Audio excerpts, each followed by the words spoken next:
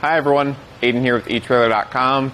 Today we're going to be taking a look at the Yakima FreshTrack 4 ski and snowboard carrier here on our 2021 Audi Q7. Now this is going to be capable of carrying up to four pairs of skis or two snowboards. If you need a little bit more capacity than that, you can go to the FreshTrack 6 which can do up to six pairs of skis or four snowboards. Now that is going to vary depending on your gear, Everyone's going to be a little bit different in terms of how much space they take up, so we'll give you the actual interior usable dimensions in a bit here. But first, we want to talk about the carrier. It's going to carry your gear in between these two jaws with these very large rubber pads in between them. And that's going to do a number of things. It's going to help cushion and protect your gear, but it's also, because they are rubberized, it's going to give really good grip on your gear. So they're going to be nice and still in there, really secure in the carrier, so you don't have to worry about it going down the road.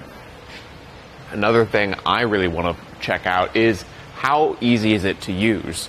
A lot of these carriers, they have pretty good buttons, and this one is no exception. It's a very large button, easy to hit with the palm of your hand, so if you've got gloves or mittens on, you don't have as good of use over your fingers.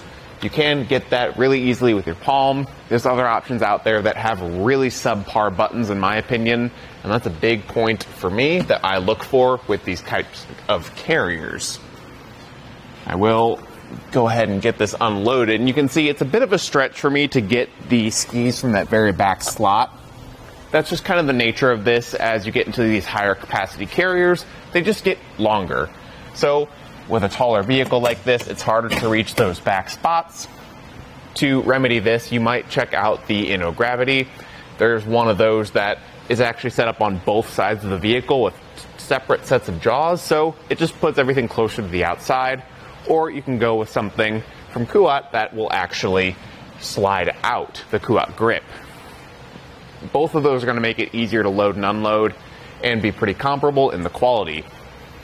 Now this one here in addition to those large buttons, you will notice that we have locks on there. So we can lock our gear into the carrier.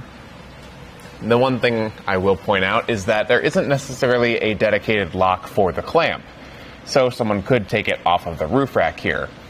They do have this small set screw that is designed to get run down and kind of hold this hand knob in place. I don't really like that personally because one, you have to bring around that specially keyed Allen key with you and remember to have it to actually use that. It's just a little bit more cumbersome than just throwing a key on a key ring. You're already going to have your car keys, so that's just easier for me. But then also, that's just a screw going into plastic, and that plastic can wear down over time. I'd rather have a dedicated lock. Something like the InnoGravity does have a really elegant lock solution that's all under one key, and same thing with the Kuat grip. It's going to have dedicated locks on those mounts, so maybe check out one of those. Otherwise, here we can check out how much it's going to add to your roof. You want to consider the added height. We are going to be sticking up five and a half inches from the top of our crossbar here, so it's fairly low profile. Really, with any type of carrier like this, it's going to be low profile, especially when you're comparing it to the alternative, which would be a rooftop box. A lot of people do like those for carrying skis and snowboards because it protects your gear enclosed, but those can get a lot more expensive.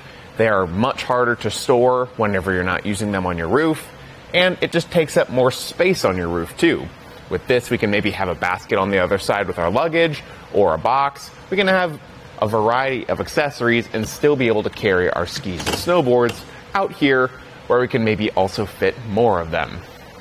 Regardless of which route you go, though, I think the FreshTrack is going to be a pretty good option. For me, I'm just missing that extra bit of security on the clamps here, but overall, it's easy to use. It's going to have really nice buttons and good capacity for your Q7 here. Thanks for watching.